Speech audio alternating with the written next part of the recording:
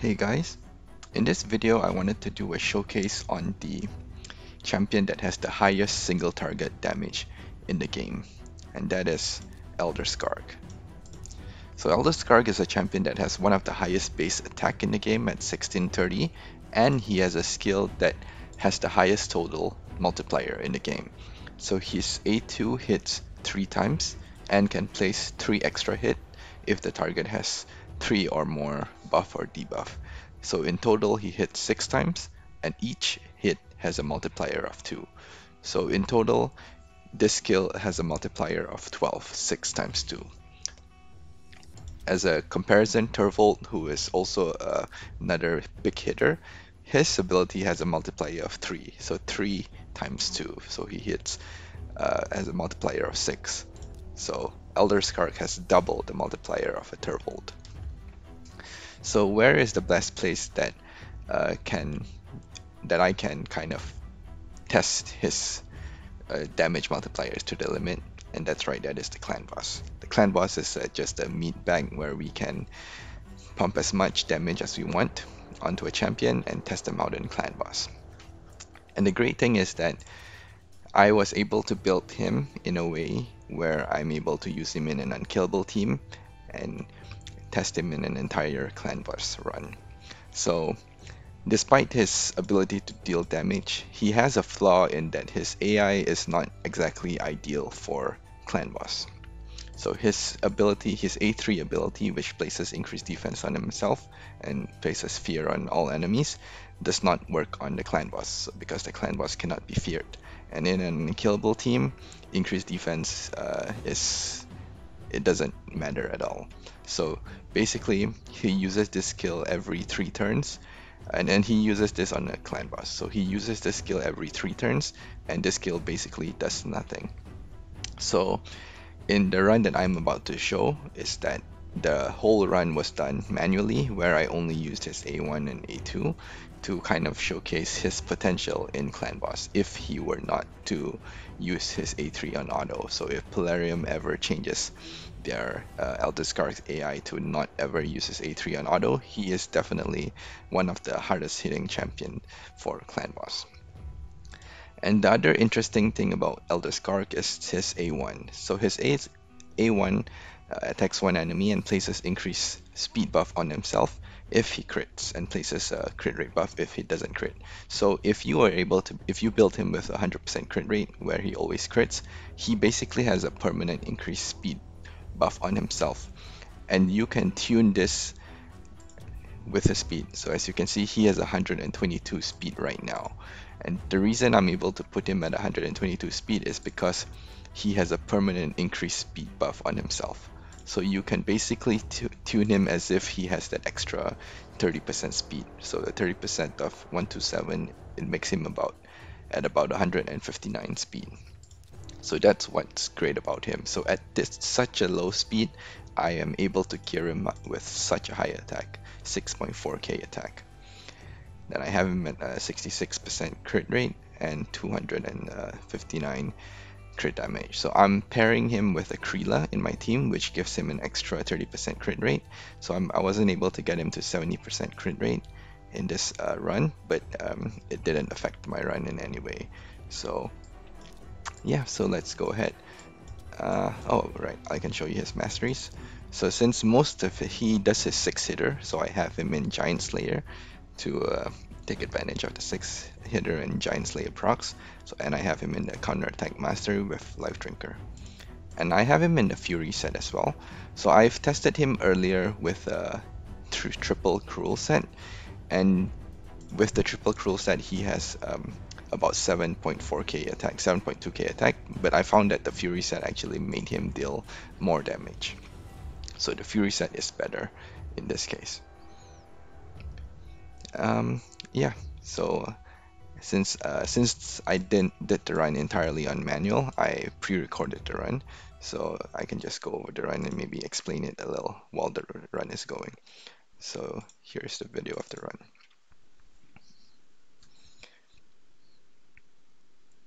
So I'm I have I'm currently have him built in a team uh, in a double man, is an easy double man-eater team where the two man-eaters are at um, 215 and uh, sorry 214 and 219 speed. The two DPSs are at 171 speed, and Elder Skarg is at uh, 127, but with his increased speed buff, he's uh, essentially at 159 speed. So this three DPS, um, so if you want to build a similar team, you can build with them with the exact same speed, and you can use any of the three DPS champions. So in this team specifically, I needed Kreela to place the increased crit rate, and she also provide the increased attack for the attack-based champion to deal more damage. And she also obviously provides the ally attack. Venus is here to provide the decreased defense and weaken. So you can use any champion that uh, provides increase, uh, sorry, decreased defense and weaken. You can use a Fayne, you can use a Draco. The reason that I'm using Venus here is because the clan boss is on magic affinity. So I, I was not able to use Fayne since she's negative affinity to this clan boss. And I don't have a Draco. If you have a Draco, Draco is, is the best option in this position. Then right here we have Elder Skarg, who is the highlight of this team showcase. Yeah, so we can wait for uh, one of his ability to show and we can take a look at this damage.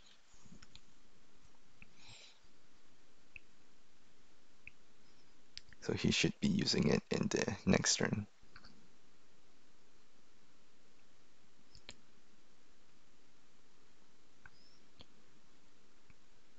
He should use it right now.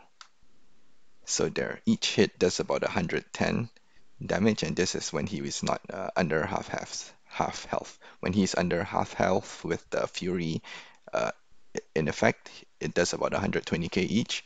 So 120k times 6 is 720k damage in one skill. That is an incredible amount of damage and not including the Giant Slayer proc. So on average, it does maybe about an 850k damage in one skill compared to a Turvold who normally is able to do at, at max 400k per hit. So Elder Skarg's ability is, does much more damage than a Turvold. Yeah, so there right there again, you can see 120k, 110k right there and it also places HP burn as well. So I've built him with accuracy. Uh, if the HP burn is not something that uh, you want, you can also forego accuracy and just stack up the crit damage and attack. Yeah, so I'm just going to let the run uh, go on uh, fast forward and I'll get back to you when the run is done.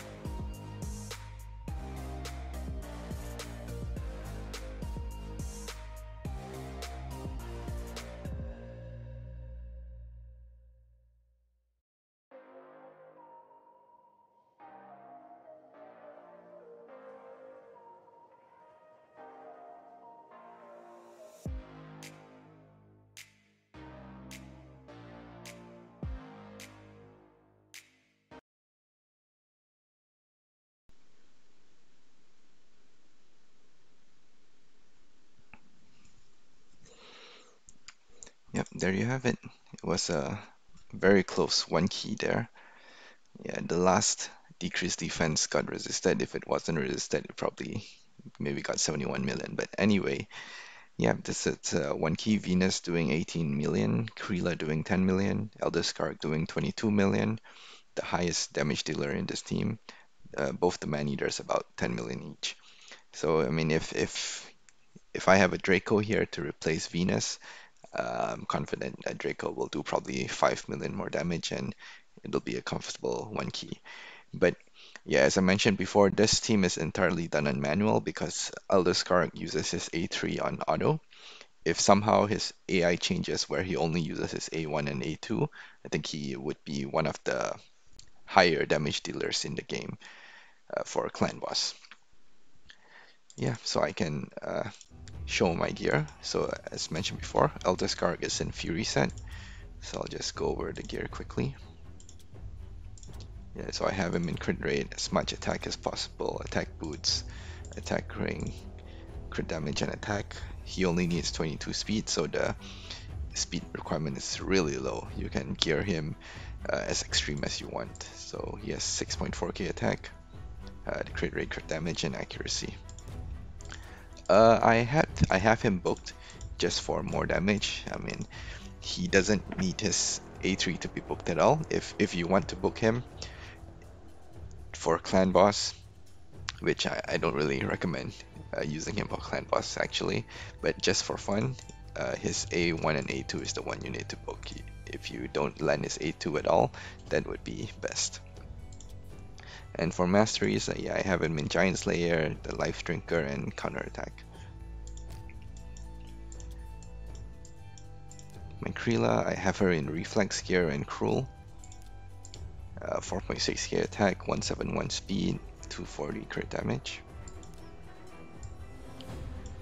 And my Venus in Retaliation Gear for counter attacks, 171 uh, 4.8k, 70%, uh, 244 crit damage, and accuracy.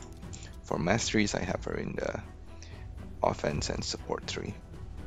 So I don't have her in the counter attack mastery, that's why I have uh, the retaliation gear on her. And Akrila's mastery, yep, she has um, the life drinker and counter attack mastery.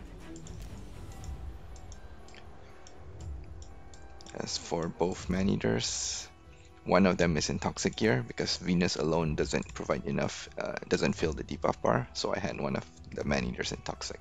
So it's 214 speed, the attack, crit rate, crit damage, and uh, I didn't focus on accuracy at all. Masteries is the counter attack and life drinker. War Master is the same mastery in the second man eater, and this one is just going for pure uh, attack and crit damage. So it's 3.5k attack, 272 crit damage and no accuracy with a 219 speed. Yeah, so this is just uh, another showcase of a slow team and with Elder Skarg as the main uh, champion in this team to showcase. I'll be doing another video with uh, a more, I guess, a more stable team shortly, so keep an eye out for that. Alright, thanks for watching. Goodbye.